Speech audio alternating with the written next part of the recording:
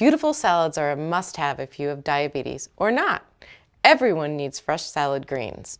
Hi, I'm Carol Murko of Heirloom Meals. Today I'm making two of my favorite salad dressings and I'm sharing some of my secrets of how to prepare and store the greens. You can make a quick salad at the last minute if you have lots of clean salad greens in your fridge.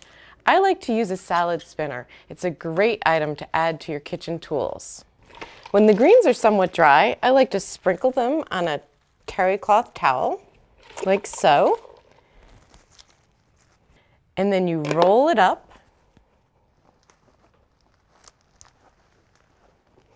Fold it over like so.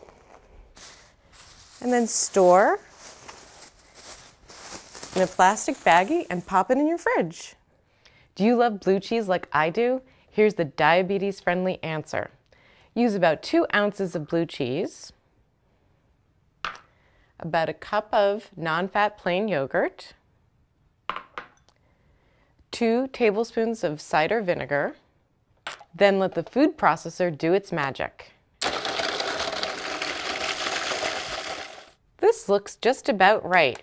This creamy dressing is a great dip for carrots and celery or to serve over your favorite greens. Mm. Now how about a mustard vinaigrette? Whisk together two tablespoons each of vinegar and Dijon mustard. And then in a stream, add your six tablespoons of olive oil.